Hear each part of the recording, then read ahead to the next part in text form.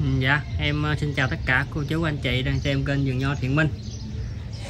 Thì à, hôm nay em cũng à, xin quay trở lại chia sẻ với à, cô chú anh chị về à, cây nho.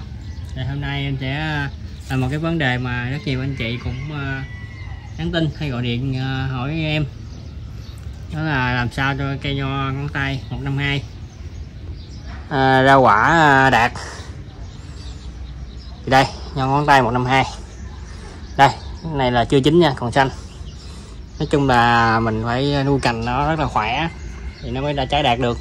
Thì giống này nó cũng khá là khó ra trái. Đây. Nhưng anh chị à, bón phân đúng cách với lại mình à, nuôi cành đúng cách thì à, đảm bảo nó sẽ ra trái ok nha anh chị. Thì có nhiều anh chị nói em cái giống này nó khó ra trái cắt cành cấp 1, cấp 2, cấp 3 gì đó. Nó không có ra trái nói chung là anh chị có thể là chưa đúng kỹ thuật, hoặc là cây nó bị ờ, vấn đề sâu bệnh, nên cành nó không có khỏe, mình cắt cành nó không có ra trái được. Thì hôm nay em sẽ hướng dẫn ờ, cô chú anh chị mình ờ, cách làm sao để cho cành nó khỏe, nó mập, nó đủ cái chuẩn để mà cho trái. Đó, thì đây, ví dụ cành này. Cây này thì đang trái nha, thì những cành có trái thì anh chị vẫn để trái bình thường. Đó nè những cành có trái thì anh chị vẫn để trái trái bình thường nha. Đó. Nè cành này cũng có trái nè. Thì lá nó bị nấm thì mình đặt bỏ thôi. Đó. Đây mình cứ để dài ra. Nói chung là mình không có để cái cành nó dài quá 2 mét nha. Đây cành này nó ra tới đây là nó dài nè. Thì bữa em đã cắt ngọn đây rồi. À, bữa em đã cắt cái ngọn đây rồi. Cho cành nó mập ra.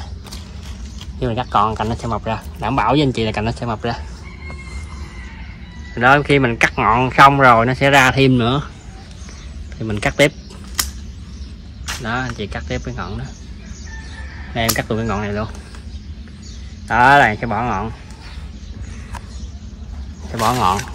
Bỏ ngọn như thế này thì à, cành mình có thể không quá dài, không quá 2 mét nha anh chị.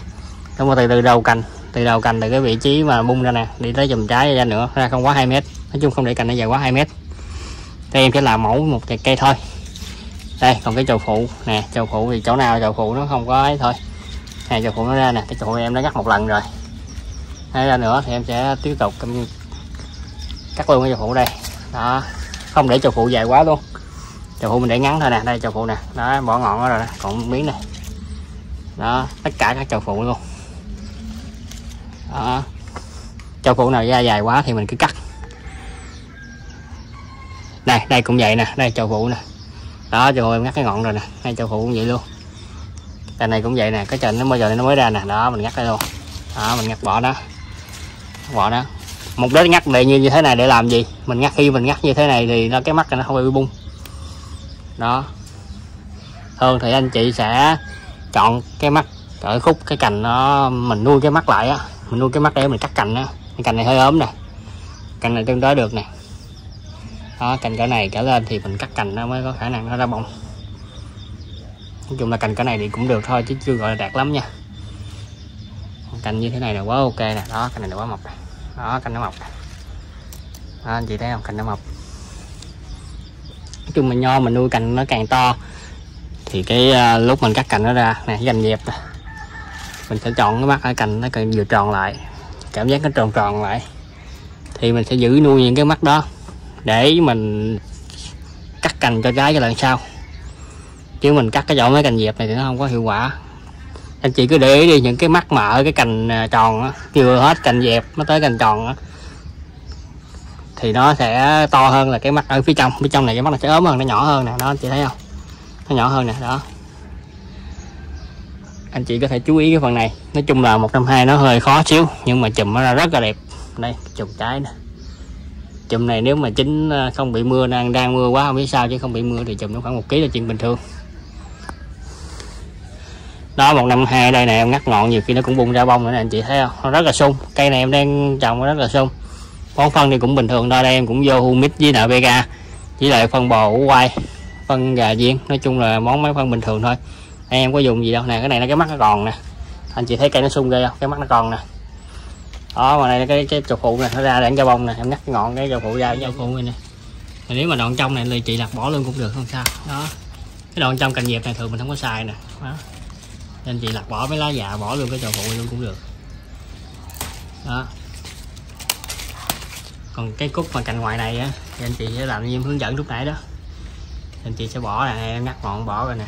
Bây giờ nó ra nữa nè em ngắt bỏ nữa cũng được luôn. Đó. Để tập trung nuôi cành nè cành nó mọc nè. Cành này giờ nó to rồi nè thấy không anh chị thấy nó mọc nè thấy không? Đó rồi bằng ngón tay rồi. Anh chị sẽ tập trung nuôi những cái cành to. Nói chung là mòn cành nhỏ mình sẽ tỉa cắt bỏ đi. Chứ mình đừng có nuôi. Như cành những cành này nè, thì nên cắt bỏ nè. Nhỏ quá nè, nó ốm nè. Anh chị thử thử cắt những cành này, nó cũng không có ra hoa đạt được. Đây, chùm nhỏ nhỏ thôi. Đó. Thấy không? Anh chị thấy chùm to chưa? Đó, một năm hai thì chùm gì nó mới đạt cái, cái nói chung là cây nó phải sung. Với lại còn một phần nữa là con điệp vảy mà điệp vảy thì hiện tại đây nó không có nên em không có quay được. Thường như vậy nó sẽ bám bên đây nè như vậy cá vậy đó. Hoặc là trong những cái chỗ nước đứt này nè. Trong những cái chỗ nước đứt này nè. Chỗ nước đứt này nó sẽ có những cái như vảy cá nó bám vào. Thì đó con điệp vảy đó chị phải phun thuốc thôi. Tới đây thì em xài uh, Moventer.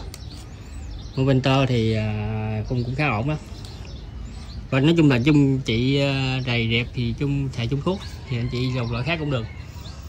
Đó là chú ý chú ý cái phần đó. Như là phần rễ thì humid, dưỡng rễ với lại nấm chi cô đẹp ma thì mình à, bón để nó không có bị nấm rễ thì cây nó sẽ phát triển tốt. Cành nó mọc khỏe. Nói chung là một cây sáu cành mọc khỏe thì đảm bảo là cắt cành ra trái ok thôi. Còn cắt cành chọn vị trí như thế nào thì em cũng có chia sẻ cái video trước rồi. Thì à, nói chúng em cũng nói sơ sơ thôi thì mình sẽ cắt cành thì mình sẽ chọn như thế nào thì đây cành nó sẽ cành dẹp nè. Đó. Vậy giờ nó dẹp mình thì sẽ có thấy dẹp nè. Còn ra độ ngoài xíu thì anh chị cảm thấy cành nó tròn hơn. Cảm giác anh chị giờ cái cành nó sẽ tròn hơn. Thì thì chỉ cắt cái khoảng đó, vừa hết cành dẹp tới cành tròn mình cắt. Cho mình coi cái mắt của nó nó đẹp là ok. Thì đó thì em cũng có hướng dẫn sơ sơ anh chị vậy thôi nha. Còn cái vấn đề mà cắt cành để ra trái thì nó phải nhiều yếu tố lắm. Mình cắt thì phải gặp thời tiết tốt, mưa không bị mưa nói chung là mưa hay là ít nắng thì nó cũng uh, ảnh hưởng đến chất lượng của hoa thì đây là em của em nó ra hoa nhỏ nhỏ chuyện bình thường nè. Cành kia nó cũng ra mấy chùm hoa nhỏ nhỏ nữa. Nói chung là cây nó sung này nó đảm bảo nó ra hoa. Chứ không có cần phải phun nhúng gì nhiều đâu. Nói chung mình trồng bình thường thì ờ, cái xử lý bằng những phân thuốc bình thường thôi. Chỉ có hại đen này em cần phải phun phân hóa mầm hoa thôi. Nó mới ra, ra hoa đạt được. Như một năm hai này em cắt bình thường nó vẫn hoa này ra hoa đạt được thì đó thì anh chị à, cứ làm thử. Còn có vấn đề gì nữa thì cứ à, inbox qua zalo với em nha. Thì em sẽ hướng dẫn anh chị mình à, xử lý thêm. Cây hình cây thực tế như thế nào, những cành ốm bớm là anh chị cắt không được ra hoa nổi nè. Đây, cành này nè. Anh chị thấy không? Tự cái nước tự ra hoa luôn nè. Đó, tự nó nước tự ra hoa luôn đó hoa trên chậu phụ luôn. Cây này rất là tốt. Nè, anh chị thấy cành nó mập hai cành lên chưa? Đó chùm đang nuôi trái nè cây đang nuôi trái nè cạnh nè. À, chị thấy nguyên cây nè đó. Chung là cây sung tốt thì sẽ ra hoa đạt ok. Quan trọng anh chị phải nuôi cây nó khỏe sung tốt. Rồi thôi em cũng ờ, xin kết thúc video tại đây nha. Thì uh, cô chú anh chị mình có nhu cầu uh, cây nho giống thì cứ liên hệ qua zalo của em nha. Số zalo thì em có để ở dưới màn hình nè. Anh chị cứ liên hệ qua số zalo giúp em anh chị đông qua ở gần thì có thể, dù em ở Long An anh chị ở gần thì có có thể ghé vườn để ờ, tham khảo mua giống. Thì ờ, anh chị thường ghé cuối tuần thì ờ, sẽ có em ở vườn. Còn không thì anh chị ghé ngày thường thì có người ở vườn, anh chị lấy cây giống thì ok. Còn cần tư vấn trực tiếp kỹ thuật gặp em thì cuối tuần anh chị ghé thì có tuần có em ở nhà thường hơn. Rồi, em xin cảm ơn tất cả cô chú, anh chị đã quan tâm, theo dõi cũng như đăng ký ủng hộ kênh. Rồi, em xin chào và hẹn gặp lại cô chú, anh chị trong video sau nha.